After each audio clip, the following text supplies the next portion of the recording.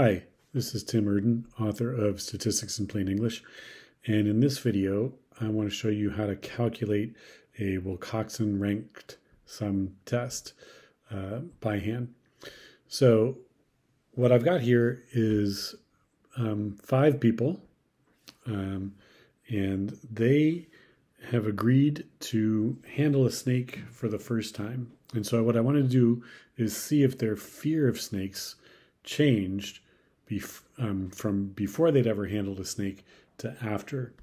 So I asked them on a scale from 1 to 10 to tell me how much they feared snakes. And this was before they'd ever handled one. And they gave me these scores over here. So there's a big range. Uh, most people are in the sample were quite afraid, um, but there was one person who had no fear. And then I let them handle a snake for a while. Um, and then I measured their fear again after they had handled the snake. And here's their fear ratings after handling the snake. Now, it's one sample measured twice, which makes it appropriate for a uh, Wilcoxon ranked sign test. And what you do after you've get the two measurements for the sample is you find the absolute value of the difference between the two scores or the two measurements for each individual in the sample. When you do this, it's also important to um, note which scores, which changes produce negative numbers and which ones produce positive numbers. So if the fear went up from time one to time two, that would produce a negative number. And I indicated the negative values in red and um, but I we still need to take the absolute values. So I've taken the absolute value of negative one and then marked it in red to show that it initially was a negative number. So I do that for each of the cases, and those are the absolute values. And then the absolute values of the differences between the scores for each case. And then over here, I rank the different scores from smallest to largest. So this first case here had a different score of 1, an absolute value difference score of 1, and that was the smallest difference um, from time 1 to time 2 of any of the cases. This second case had a different score of 3, and that was the third smallest change. This change of two points was the second smallest change, and so on. So you can see uh, these are the ranked difference scores between um, uh, each case from time one to time two, from before they handle the snake to after they handle the snake. The next step in this test is you need to create or calculate um, W scores. And there's going to be two of these.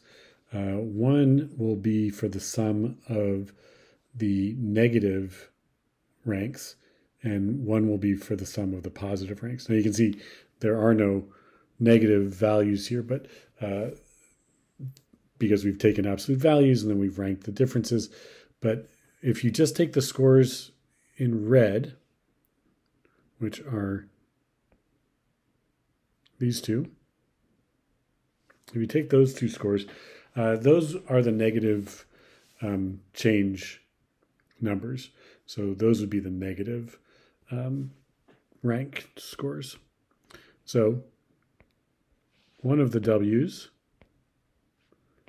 equals uh, the rank for the first negative score, which was 1, plus the rank for the other negative score, which was 2, equals 3. The other W score is the sum of the ranks of the positive change scores. So that would be 3 plus 5 plus 4 equals um, 12.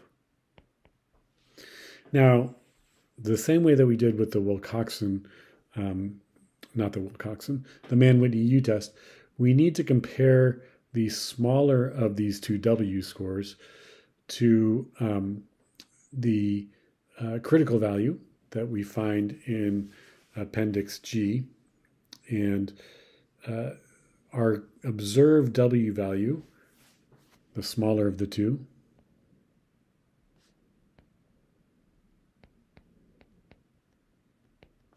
would need to be smaller than the critical value in Appendix G. So let's take a look and see what that Appendix G value is. All right, now that we have our two W values, uh, the next step is to take the smaller one, which was 3, and compare it to the critical W value from Appendix G. So the first thing we do is we look and we see the sample size, which is 5, and as we can see, there's no values here um, until you get to an alpha level of 0.20. So our, critic, our calculated or observed W value was 3.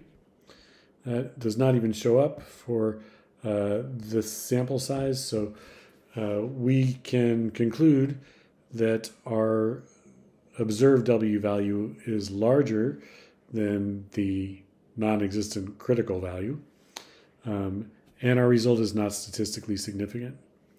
If we had had a larger sample size that produced the same W value, um, just hypothetically, like suppose we had a um, sample size of 10, um, then our observed W value of 3 would be less than the critical W value of 8, and then our result would have been considered statistically significant.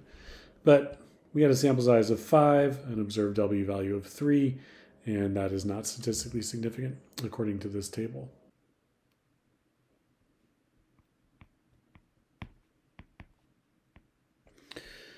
So our observed W value was 3.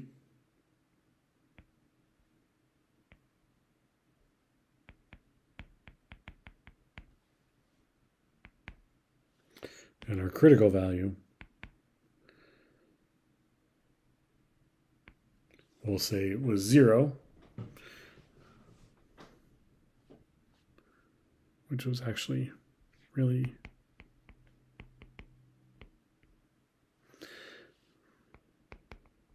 less than zero for an alpha level of 0.05. So we conclude that the results were not statistically significant, meaning the change from time one to time two in fear of handling snakes was not significant. There is not a difference between the um, the median rank um, from of fear before handling snakes and fear after handling snakes. So um, you know, very difficult, pretty much impossible to find a significant result with a sample size this small. But this does show you how you would calculate a Wilcoxon um, sign rank test by hand. Hope that's helpful.